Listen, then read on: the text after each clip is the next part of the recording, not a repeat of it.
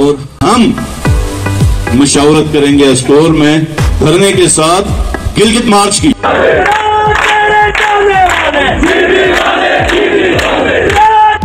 अस्सलाम वालेकुम वरहमतुल्लाहि वबरकातुहू।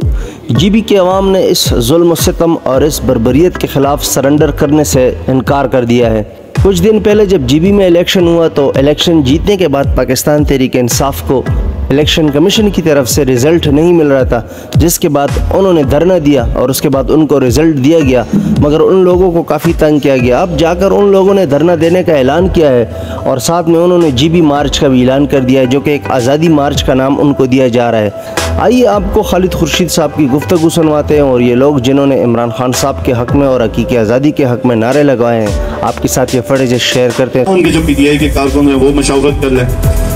गिलगित डिवीज़न के जितने भी हैं, वो मशावरत कर लें और वहाँ की जगह मैं पहले ही फिक्स करके बता रहा हूँ कि चीफ इलेक्शन कमिश्नर में दफ्तर के बाहर हम बैठेंगे।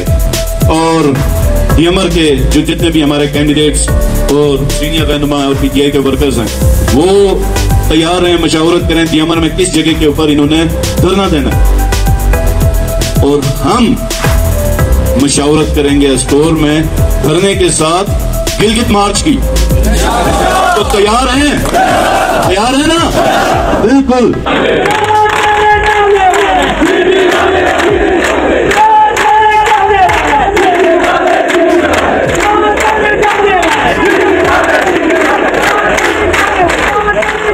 रिएक्शन तो आना था। ये सिर्फ़ जीबी में नहीं है, बल्कि और इलाकों में भी आएगा, क्योंकि आवाम को दो वक्त की रोटी नहीं मिल रही है। दूसरी तरफ़ आप उनको एहतजाज करने नहीं देते हैं। इसके अलावा आप इस मुल्क में इलेक्शन नहीं करवाते हैं। तो आप बताएँ, आवाम कहाँ पर जाए? आवाम के पास एक ही रास्ता रह जाता है, वो बगावत का, वो धरनों का और वो एहतजाज का और वो सड़कों पर आने का। जीबी में जो हालात है, इस हवाले से आप भी अपनी राय दीजिए इन नेक्स्ट व्लॉग में दोबारा आपसे मुलाकात होगी।